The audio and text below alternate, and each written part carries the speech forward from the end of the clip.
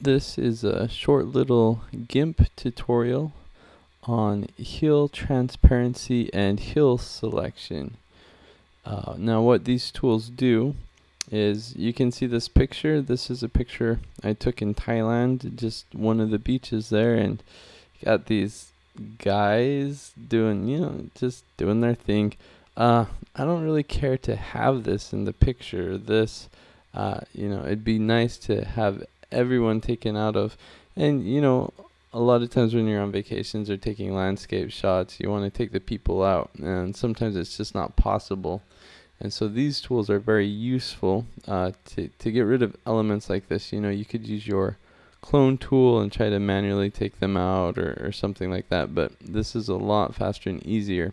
So what you'll want to do is go to filters, enhance, and you'll see you have heal selection here and then heal transparency under this and this is grayed out uh, basically because there's no alpha channel on the image. I'll talk a little bit about this later but let's go ahead and go to well we don't have a selection yet. So we'll first have to create a selection. So I'll use this tool and uh, first I'll get rid of these guys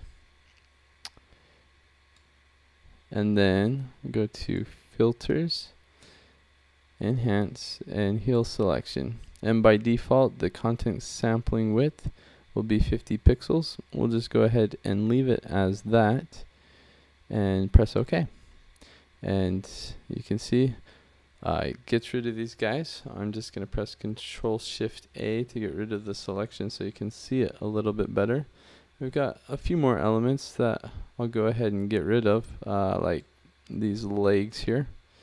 So I'll do the same thing and here we can just repeat the process repeat heal selection. And that is gone and we'll do the same thing here. Um, I'm going to go ahead and re-show heal selection so I can talk a little bit about this. Um, the pixels basically what it's doing 50 is it's it'll go up 50 pixels around where your selection is and look for content. And then it will use that content to add in here. Uh, 50 is a good default so we'll leave it at that. And the sample form is all around so obviously that's all around the selection. Um, you could do the sides left and right or above and below but I find for most things just doing all around is fine.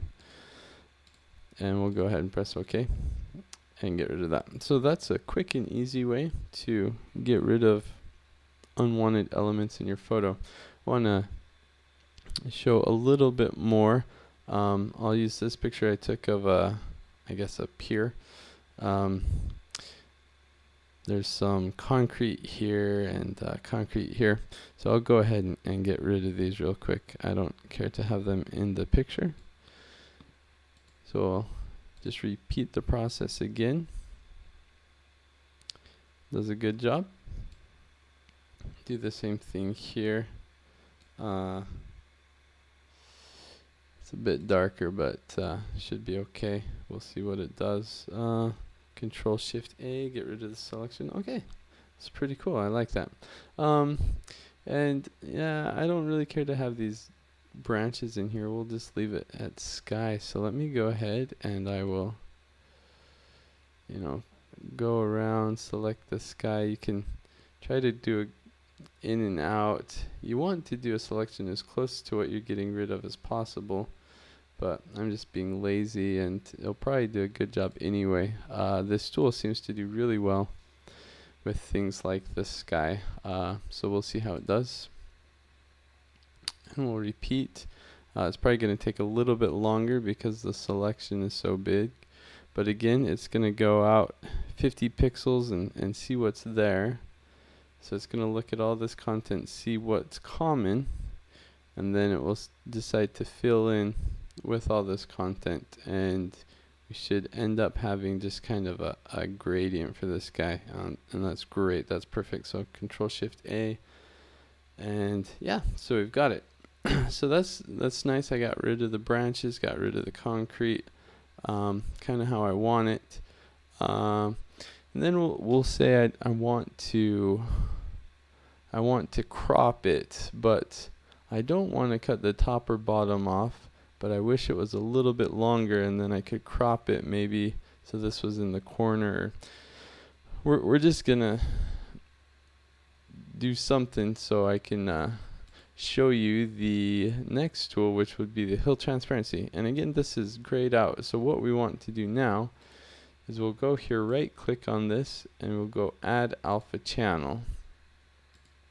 And now when we go we can do it. So what we'll want to do is uh, that's going to take any part of the image that has no content. Basically the pixels are gone for example, if we use this erase tool, and I'll show you with a gradient to show you what does not work, um, we'll just erase a hole in the sky. So, well, yeah, and we'll do it in the ocean too, just for fun. So we've got these two, and we'll say we accidentally erase those, save the image, and, and now we want to fill it back in. So we will go use the heal transparency um, the default's 50. It was at 150 because of what I did before, but we'll go ahead press OK, and it will fill those in. Um, so did a better job on the sky than um, the ocean. But one thing I wanted to show, um, if you use a brush with a gradient, sometimes it might leave a little halo. Uh, I don't know if you could see it that well. Um, but we'll try. Oh, there you go. So you, you see the halo right here where the, the gradient was. Um, so, you know, it's not going to work so well for that. But if you use something that has no gradient, then we go ahead and do that. No halo. So that's pretty good. But this really isn't all that useful. What it is useful for is making this image larger and expanding the content. So I'm going to go ahead and go to image, canvas size. I want to make it, uh, we'll say I just want to make it longer. So I'll make it, yeah, we'll add a little bit more just for fun. And we'll center the image and resize. Now if I was to go back and do it, it, it won't do anything. Um, you can see it's got this yellow dotted line going across. This is the, the layer boundary. So it still thinks that this is all there is to the image. And you could go here and go layer to image size. But that adds white. And we don't want white because it's still not going to do anything. Um, you can see it's grayed out. We can't do anything.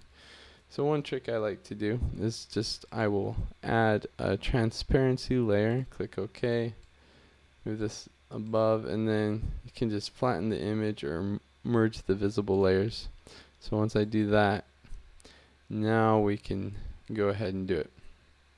So now, if I go repeat heal transparency, um, and this this might take a while because you can see the selected content. It selected all of this and all of this. And it's basically from this area it's going to go out 50 pixels. So whatever that is probably up to about here or so. It will look at this content. It's basically just going to copy it. And there we go. So now we have a much longer image.